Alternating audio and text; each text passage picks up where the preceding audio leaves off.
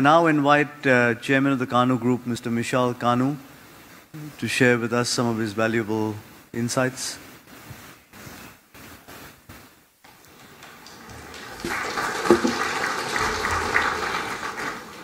Bismillah ar-Rahman ar-Rahim. Assalamu alaikum.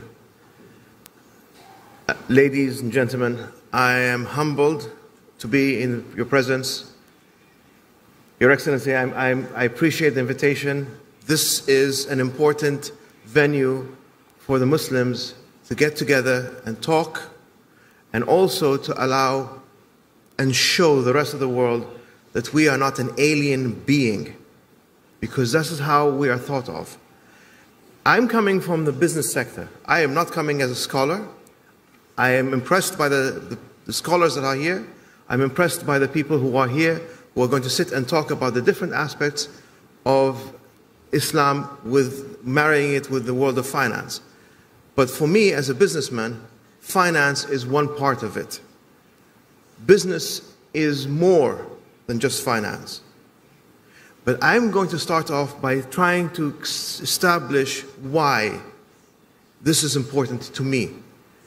For me, my teacher, my idol, the person whom I follow is the Rasul alayhi salatu salam. And before he was a prophet, he was a businessman.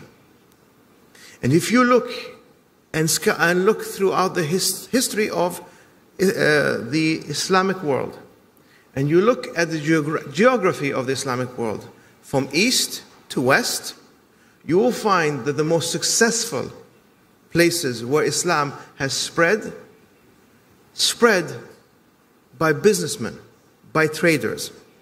And there is a reason that's the case. Because when you go to trade, you cannot trade with your enemy. You can trade with a friend, or you can trade with someone who's neutral. And the reason Islam has established themselves there is because of trading, the behavior of the trading, the manner of the trading, the people of how they trade. This is the, this is the cause that causes people to want to be part and parcel of our world. If we do not bring them in, we cannot do much about this. For me, business is a vehicle. It's not the end all, be all. And I look at this vast, beautiful, and I must say, it's my first time into, in, in Russia, Tatarstan, and it's a beautiful country. And I see the people, and I interacted with the people, even for a few days.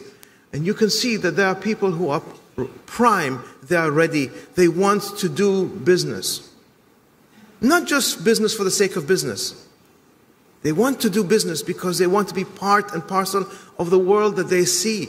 And we too, from our part of the world, also look at this part of the world and say, this is a new world for us. But you know what? There is a commonality between us. And this commonality is what I hope to be able to utilize for my business, but more important, for my humanity. And that is the, the commonality is the humanity.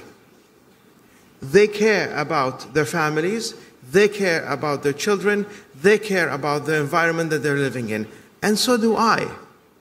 And for me, business is to help conduct a better lifestyle for them and a better lifestyle for us. I come from, I'm sitting and living in the United Arab Emirates, specifically in the city of Dubai.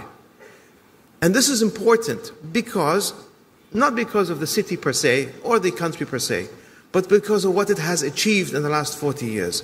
And this is significant because it can be a guiding light for all of the other places within the world to see what you can achieve if you have the right guidance, you have the right leadership, and you have the right will. There is no the UAE and specifically Dubai does not have any advantage per se. It doesn't have the raw minerals that say uh, Tatarstan has. It doesn't have it. It doesn't have the population size. But what it does have is the ability to make people welcome and to help them bring their money into the country and grow it. There is no restriction other than whatever is the legal and uh, legal restrictions, to create a, a better life for other people. You want, you come, you create, you build. You build, we benefit. We all benefit. And I think that is the basis for any growth that any country would want to seek. And if we can play a role, not only from creating a, a beautiful feeling of brotherhood, which is important, but trade to help create growth that allows people to have a good life. It is important for us, not just for me as a businessman, not to make money. There are easier ways of making money. But making money is, should be part and parcel of my overall message. The main message for me is how can I make other people's lives better?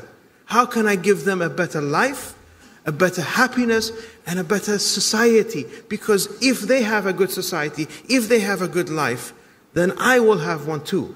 Because we're all living in this world.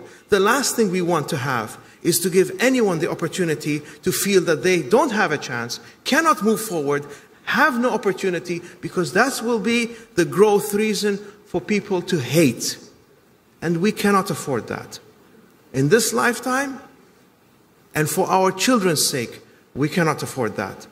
So if I have an opportunity to help create opportunities here, or to take opportunities from here back home through my vehicle of business, it'll be my honor. I thank you very much for giving me this opportunity. I hope if you have any questions, I will be able to answer it. But I think this is an excellent forum for people to conduct the one thing that we are all part of, which is humanity. And please, please remember, in the Quran Kareem, Rabbil Alameen addresses us, Bani Adam. Bani Adam. We're all from Sayyidina Adam. And this is important. I might, this, I might have a problem with my brother. I might argue with him. But I always, should always treat him with respect, not because of him, but because he was created by Rabbil Alameen. And for me, that should be enough. Thank you very much.